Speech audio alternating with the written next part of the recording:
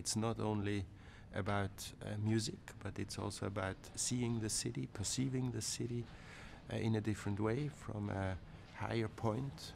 You can have the 360 degree panorama around Hamburg. So to the north, you see the, um, the city itself with the uh, with the with the buildings, office, uh, housing buildings, uh, streets, and and uh, and squares. And in the south, you see the the harbor.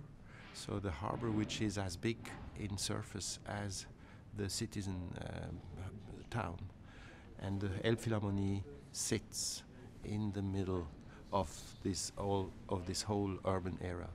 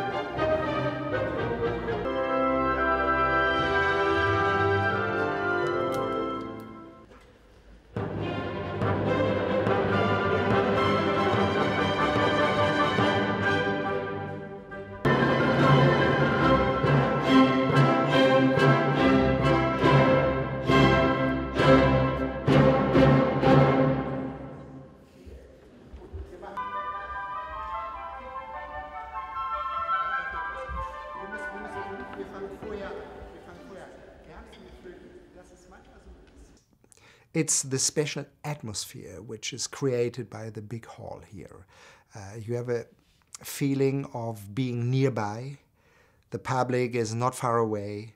You can see and listen on each place perfectly. There's no no minor quality uh, in the in the cheap places, which is very important and give a quite democratic approach to this hall. No, I must say we we are we are absolutely grateful and happy to be here. Uh, the room shape and the material, everything is uh, part of acoustics, and so in this way, uh, acoustics is very unique.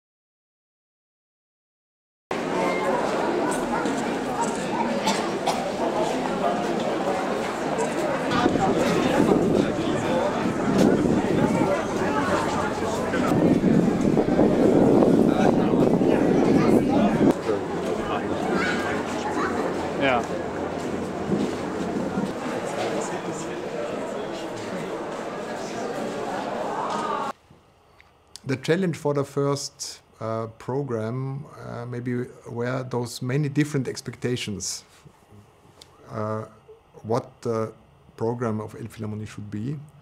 First, uh, we wanted to present the best of, of Hamburg Music Live, all the Hamburg orchestras.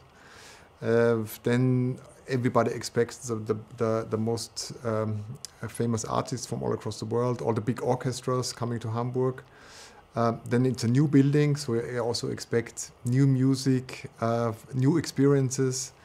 And uh, then the Elbphilharmonie is the so-called Haus für alle, house for everybody. So um, it's, it's extremely important that it welcomes everybody, also people who have who are not into classical music yet. So we have concert series uh, that introduces the program, the music, and that, uh, the, that are also very reasonable priced.